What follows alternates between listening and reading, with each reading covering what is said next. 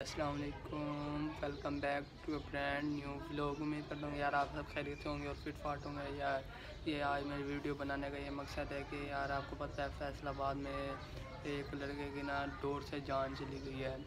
तो पुलिस वाले भी पकड़ रहे हैं। तो मैं इसलिए कह रहा हूँ, आपको कहना चाहता हूँ कि भाई आप ना अपना खुद हिफाजत करें। आपके पास जो भी चीज़ें हैं, डोर, पतंग, ये, वो, सारी ख़त्म कर दें, सारी।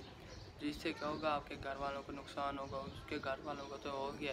क्या पता अल्लाह ना करे, अल्लाह ना करे, कल आपके घर हो जाए, कल को फिर आप क्या करेंगे? इसलिए यार आप अपनी भी हिफाजत करें उसकी उसके, उसकी माँ के ऊपर क्या बेहतरी होगी? जिसका बेटा चला गया, अल्लाह भी उसे जन्नत और फिर दोस्त में अला मकाम अदा करे। सब भाई उसके लिए दुआ करें आप।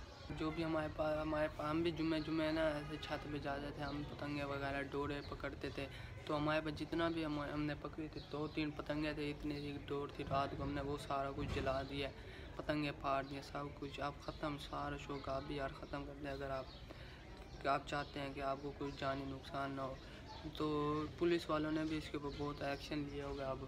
तो आगे देखते हैं क्या होता है। अल्लाह खैर कर, अल्लाह में उसकी जन्नत उसे फिर दोस्त में अला मकाम उसे दे।